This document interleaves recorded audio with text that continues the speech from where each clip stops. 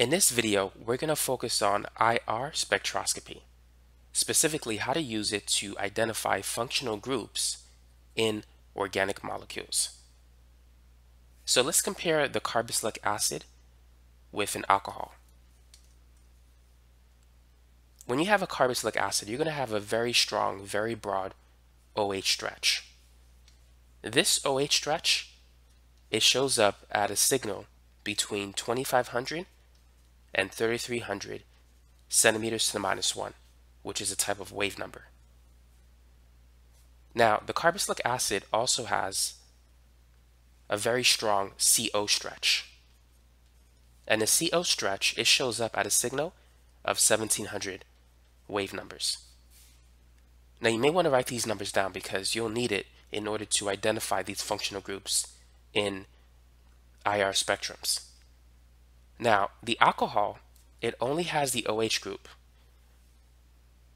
So it has a strong absorption around 3200 to 3600.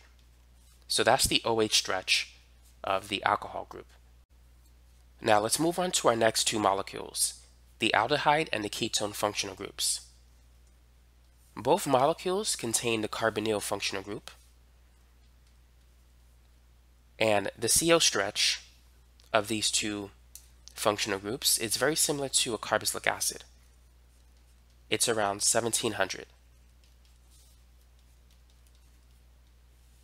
Now, the distinguishing feature between an aldehyde and a ketone is the CH stretch of the aldehyde.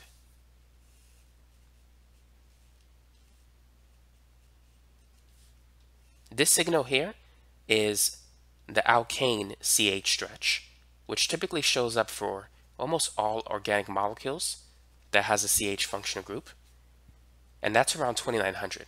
So you'll see that for the ketone as well. But this part here, this identifies the aldehyde over the ketone. So the aldehyde will have a signal of around 2700 centimeters to the minus 1.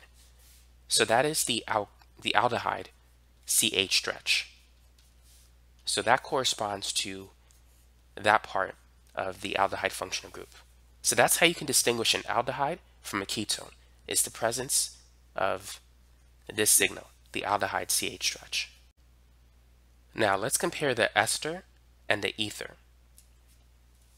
The ester functional group has a carbonyl CO stretch of around 1700, very similar to aldehydes and ketones. The ether, it doesn't have the carbonyl CO stretch, but it does have a, a single bond CO stretch, and that is between 1000 and 1150. So something that you want to take into mind is that double bonds have higher wave numbers than single bonds. The C double bond O stretch absorbs at a higher energy than the CO stretch of an ether. And triple bonds have even higher wave numbers than double bonds. We'll talk more about that later in this video. For now, you want to take into account the type of carbon that is attached to the oxygen. That is, this is an sp3 carbon. Here, we have an sp2 carbon. So therefore, the CO stretch is going to be different. It's going to be higher. It's going to be between 1200 to 1300.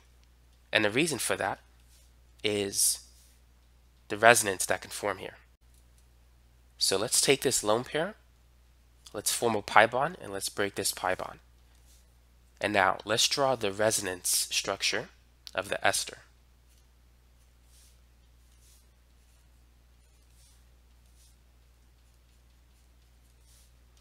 and let's add the corresponding lone pairs.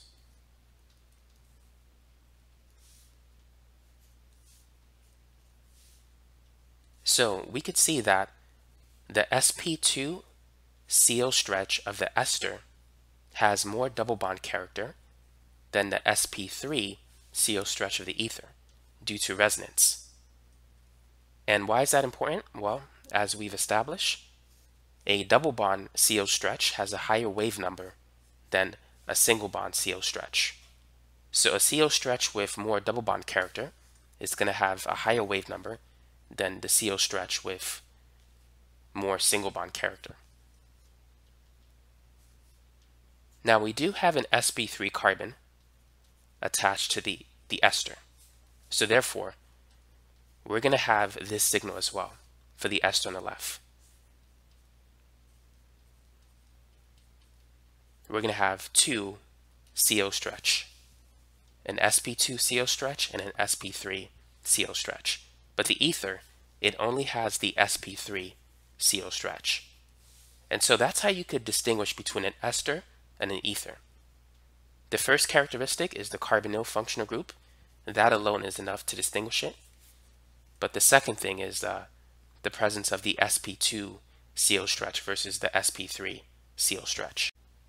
Now let's talk about primary and secondary amines before we go into amides.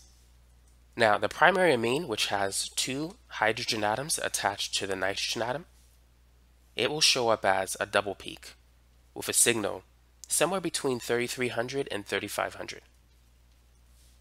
Now the secondary amine only has one hydrogen atom attached to the nitrogen atom. And so it's going to have a single peak between 3300 and 3500. So that's how you could distinguish the amine, the primary amine, from a secondary amine.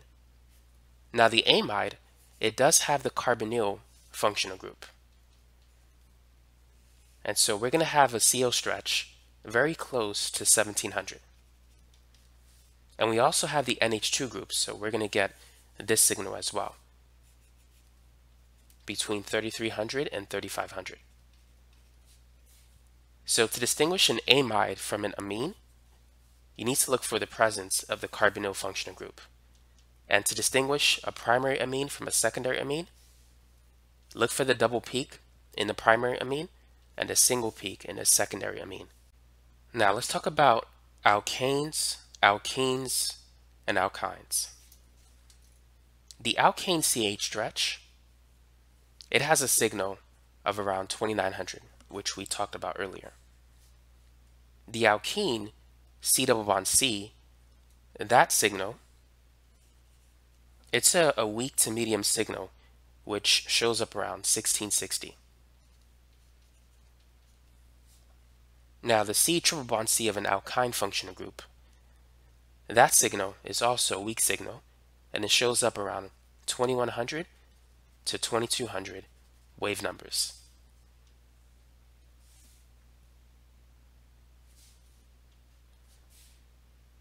Now the next thing we need to talk about is the CH stretch of an alkene and an alkyne. So the double bond CH stretch of an alkene it shows up around 3000 to 3100. So relative to the alkane CH stretch, it's going to be slightly to the left of it. So here is the alkene CH stretch close to 3100. Now let's say if you have a, a terminal alkyne, and so you're going to have the alkyne CH stretch. This signal is even further to the left of around 3300. And so here is the alkane CH stretch, and then here would be the alkyne CH stretch. So this helps you to distinguish an internal alkyne from a terminal alkyne. And to distinguish an alkene from an alkyne, you could simply look at these two numbers. So let's talk about the effect of hybridization on wave number. So here we have an sp3 CH stretch. This is an sp2 CH stretch. And here we have an sp CH stretch. So notice that as the S character increases, the wave number increases. The SP-CH stretch, it composed of 50% S, 50% P. This is 25% S, 75% P. So as the S character increases, the wave number of the CH stretch goes up. Now, going back to alkanes, there's two other signals that you want to be familiar with. The first one is a CH3 bend, which has a signal of 1365 to 1385. And then the other one, it can vary between a CH bend, a CH2 bend, or a CH3 bend. And that can vary between 1400 and 1450. Now let's talk about the relationship between atomic mass and wave number. As the atomic mass goes up, the wave number goes down. So going from hydrogen all the way to bromine, we can see that the atomic mass is going up. But looking at the wave numbers, it decreases from 2900 centimeters to the minus 1 to an average of 550. And so there's an inverse relationship between atomic mass and the wave number at which a bond absorbs IR radiation. Now the next relationship that we need to consider is the one between bond strength and wave number. As the strength of a bond increases, the wave number goes up. We know that triple bonds are stronger than double bonds, and double bonds are stronger than single bonds. Thus, triple bonds will have a higher wave number than single bonds. We can see that in the case of alkynes relative to alkanes, in the case of nitriles versus amines, and carbonyls versus a C single bond O stretch. And it makes sense because more energy is required to stretch a triple bond compared to a single bond because it's harder to pull three bonds than one. And since wave number and energy are directly related, triple bonds will show up at a higher wave number in the IR spectrum. So that's another thing you want to take into account when dealing with uh, IR spectroscopy. As the bond strength goes up, the wave number goes up. Now, another topic that we need to consider is conjugation.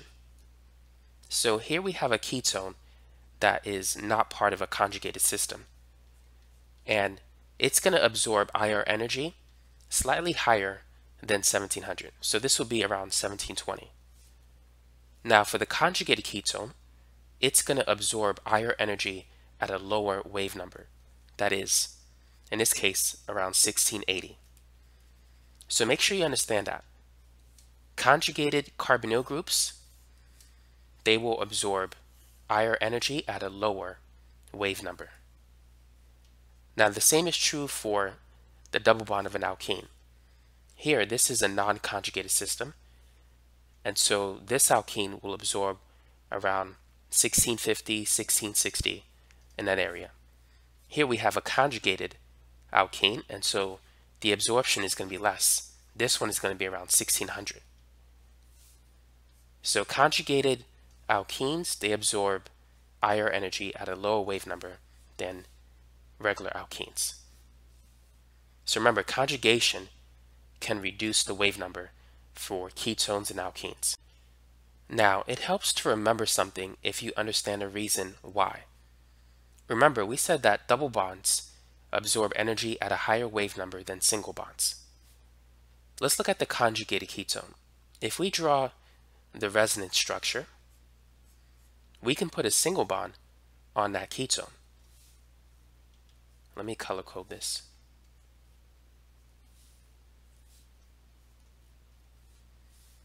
And now we'll have a positive charge here.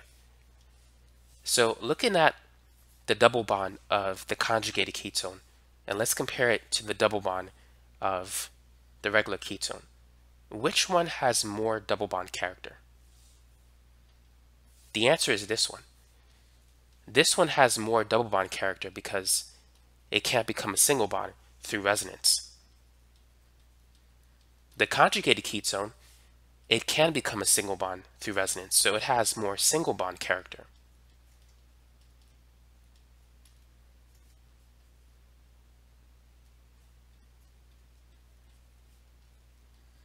And now let's think about this. We said that double bonds have a higher wave number than single bonds. So because this ketone has more double bond character, it makes sense why it would have a higher wave number than the ketone with less double bond character.